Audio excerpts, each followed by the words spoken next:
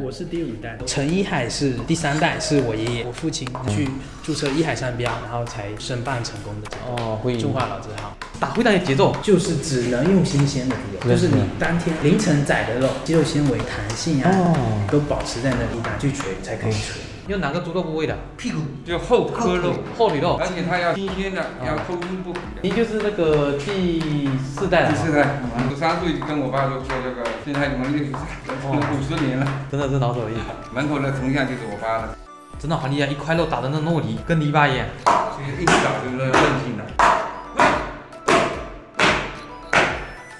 好了，看得出来了，它就黏黏的哈。对，很黏，我气都喘出来了。韧性够了，粘性，机器已经没办法做到这一点。做这个很很费怎么混？地瓜粉。每天都凌晨四点起来吗？四点。太辛苦了。这个多少斤？这个两斤多。一个人能做多少斤一天？最多做五六个。这样一个跟那个打肉要两个小时。这种女孩子做掉吗？都可以，都可以。这个不分男女。很吃苦一点啊。哎，没错。跟你师傅学多少年了？到现在起码有二十多年了。初中你毕业就。做这个有肉吃，天天都有肉吃。福州做肉宴多不？很多。老牌没几家。百年老字号的，两间。嗯，我们这一间。其实用地瓜粉也是防止它不要粘在一起。哎，没错。越来越长，越来越长了。嗯，慢慢的摊开。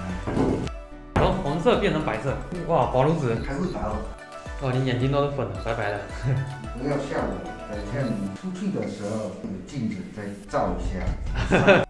刚才就那一盆肉，现在变成这一大张，太厉害了，太神奇了。这一张能包多少个？这一两二十八到三十个。啊，叠的厚厚的，跟千层纸一样。少不会破吗？我看还挺用力的。用手擀。这种湿的能换多久不会坏？放在冰箱一年多。不换冰箱呢？冬天一两天，夏天大概两个。哇，薄如纸，比纸还要薄。落叶，落叶就是尾巴，这个像燕子尾巴哈。对。那能包多少个？五六十斤。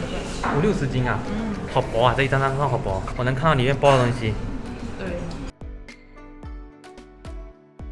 这个就是福州的著名小吃。肉燕，因为它的尾部像燕子的尾巴，所以说带有燕字的。它这个哈，收到的话要立马放在冰箱里面，不然容易坏掉。它这个是已经包好了，直接烫熟就可以吃了，也可以蒸着吃，也可以炸着吃。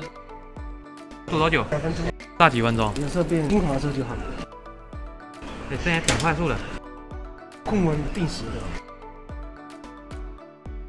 这个就肉燕煮。蒸炸，这个皮是晶莹剔透的，然后呢还能看到里面包的馅料的，它这个真是肉包肉的，福州比较经典的一个小吃，来试吃一下。